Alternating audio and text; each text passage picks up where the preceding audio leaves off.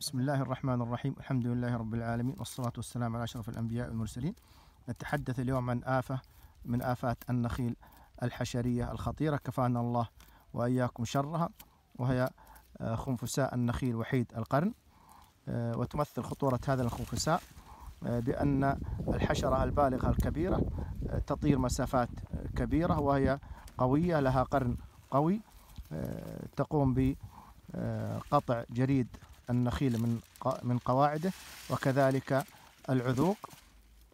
مما يتسبب في آه، فقدان آه، الثمرة.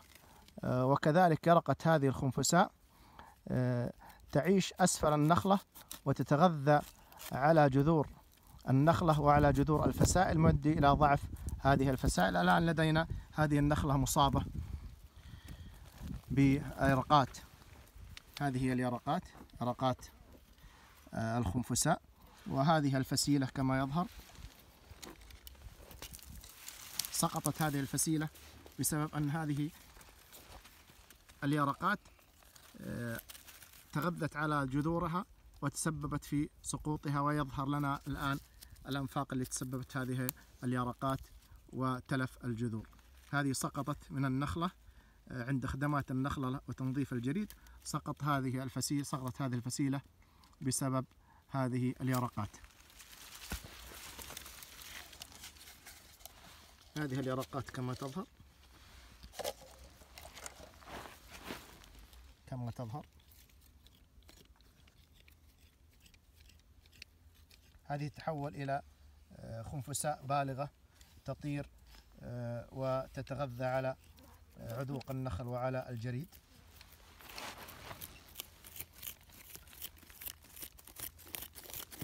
تتواجد في أسفل الفسائل تتغذى على الجذور.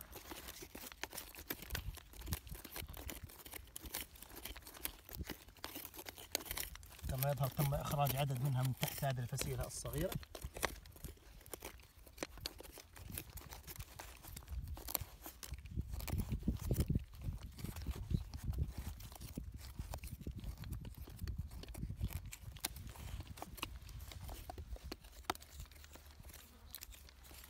من الأدوية التي تستخدم لها هو دواء الفرودان.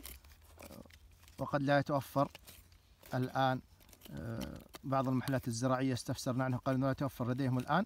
واحضرنا دواء بديل. جيب الدواء.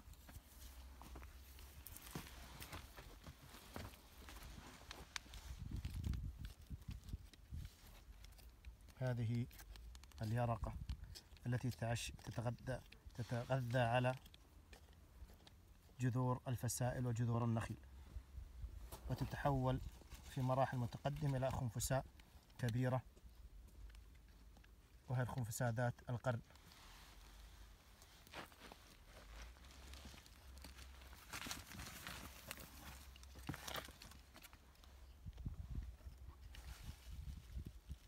جيب الكاسة.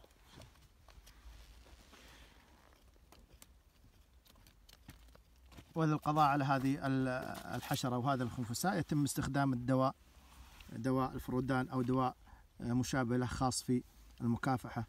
مكافحة الحشرات معروف عند المحلات الزراعية. يتم عمل حفرة دائرية حول النخلة. ويفضل أن أيضا ينثر على قاعدة الفسائل والنخلة. وكذلك ترش النخلة بالمبيد حشري لقتل أيضا الخنفساء الكبيرة. البالغة. حطه حول النخلة تحت شوي.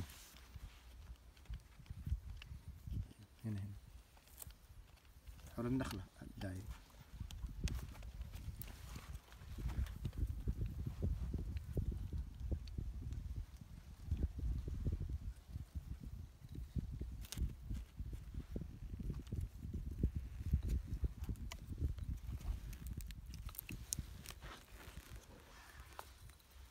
يفضل أيضا وضع كمية من الدواء على الكرناف السفلي للنخلة.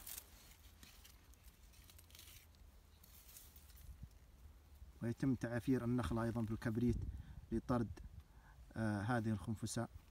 وهذا الفيديو لإيضاح ذلك.